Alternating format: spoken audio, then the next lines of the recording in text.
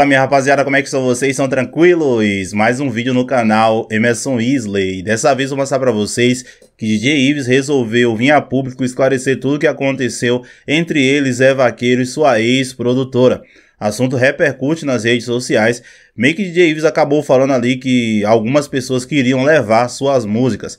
Pelo que deu para entender, ele estava falando de Zé Vaqueiro. Como vocês sabem, DJ Ives acabou colocando Zé Vaqueiro na justiça e foi um dos assuntos que repercutiu bastante nesse meio de semana.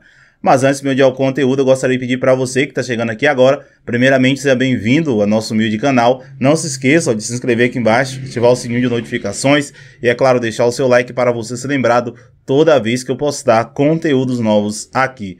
Pois é, rapaziada, nessa quinta-feira, DJ Ives acabou usando seu Instagram para fazer um longo desabafo, onde, segundo o mesmo, ele acabou, de, de fato, ali, esclarecendo tudo que vem acontecendo entre ele e Zé Vaqueiro. Como vocês sabem, no dia de ontem, eu trouxe um vídeo aqui no canal falando que, Zé, que DJ Ives, no caso, tinha acionado a justiça contra Zé Vaqueiro, onde, segundo informações que foram divulgadas pelo portal Metrópolis, pela colunista Fábio Oliveira, ele, DJ Ives, tinha 10% do projeto de Zé Vaqueiro e aí tinha alguns sócios ali. E aí esses sócios resolveram excluir DJ Ives da sociedade. Enfim, veja o que foi que DJ Ives falou. Sem muito rodeio, né? hoje eu vou dar uma aula para vocês aqui, uma coisa chamada fonograma.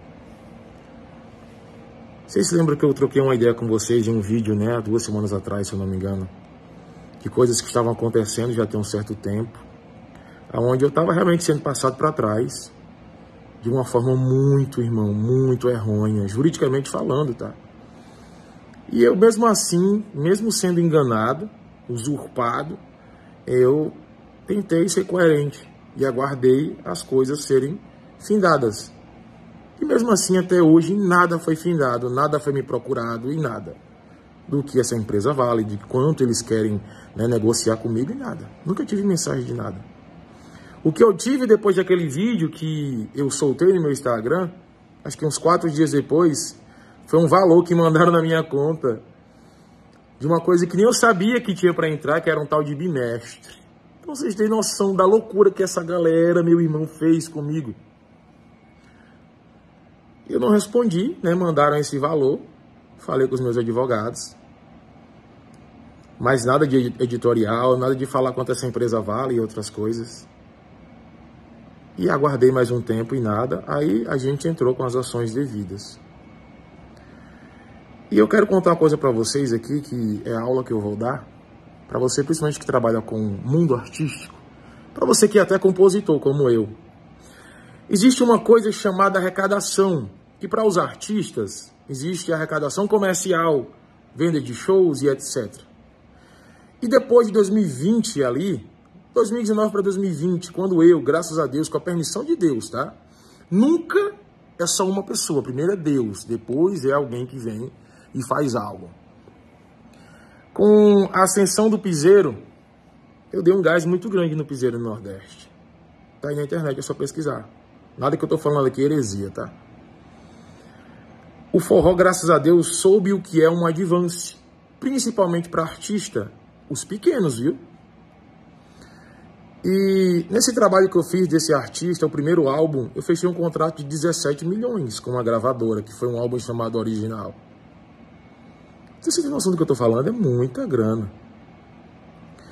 E depois disso, muito sucesso, muita coisa acontecendo, todo mundo indo muito bem, outros artistas também pegando advance e tal o forró crescendo, o piseiro crescendo. Em 2021 eu tive realmente né, aquela fatalidade que aconteceu. E decorrente do que me alegaram nessa notificação extrajudicial lá atrás, em janeiro, que eu citei, né? Naquele vídeo passado no meu feed, tá lá só olhar. Citaram que, pelo que aconteceu na minha vida pessoal, eu tinha que sair da empresa. E eu.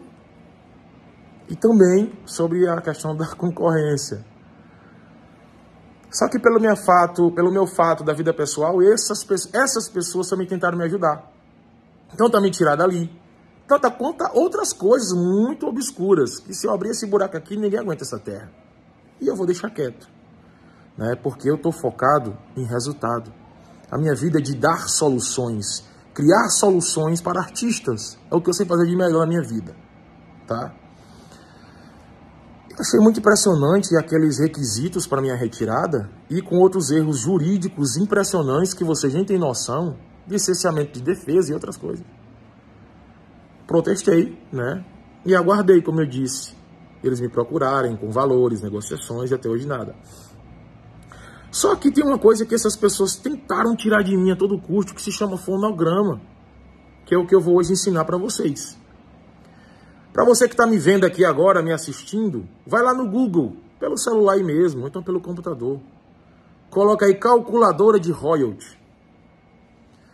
E você vai pegar o seu preferido artista, fulano de tal. Pega um vídeo do YouTube, vê quantas visualizações tem naquele vídeo. Pega aqueles números e coloca nessa calculadora para ver quanto é que um vídeo desse rende. Isso eu tô falando, pessoal, não é de show, eu tô falando de royalty que é uma coisa que o forró hoje sabe o que é royalty. Você tinha noção que essa galera queria tirar isso de mim, porque o, o, o fonograma é algo vitalício. Não é simplesmente só uma retirada de uma empresa. Eles queriam tomar isso de mim, porque aquilo que eu criei, aquilo que eu fiz, eles queriam só para eles, para arrecadar lá na frente. Porque se pegou um advance, vai pegar outros. E para pegar outros advances lá na frente, tem que colocar em conta aqueles fonogramas passados. Mas não, eu tinha que entregar aquilo de mão beijada. Então pega isso. Existe calculadora de royalties para tudo, tá? Para você que é compositor, que eu também sou compositor, a gente ganha o direito autoral, que é um fonograma do autor. Que o ECAD arrecada, passa para as associações e as associações pra, passam para os autores. Só que é a parcela pequena. A parcela grande do fonograma vai para a gravadora, que muitas das vezes dá o advance para o artista que é merecido. As gravadoras estão de parabéns. E elas hoje fazem um papel muito, muito, muito profissional no Brasil, como sempre fizeram. Só que eu tinha que abrir mão disso. Pega aí, para você que é artista, que você nem sabia o que era isso. Vai no Google e pesquisa. Você pode ser pequeno artista, médio ou grande. Se você nunca teve noção de quanto ganha ou pode ganhar um dia, faça isso que eu estou lhe falando e tenha muito cuidado. Nunca deixe ser enganado e pesquise muito antes, porque você tem que ter uma coisa, estou falando para você.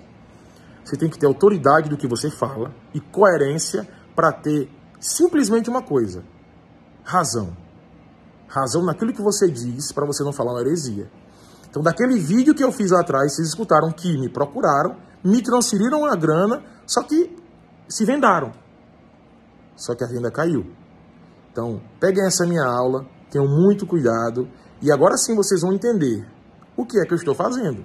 Vocês acham que eu vou abrir mão disso? Porque não estão tirando só de mim, estão tirando de mim, da minha filha, da minha família, das pessoas que trabalham para mim, e daí para cima ou para baixo.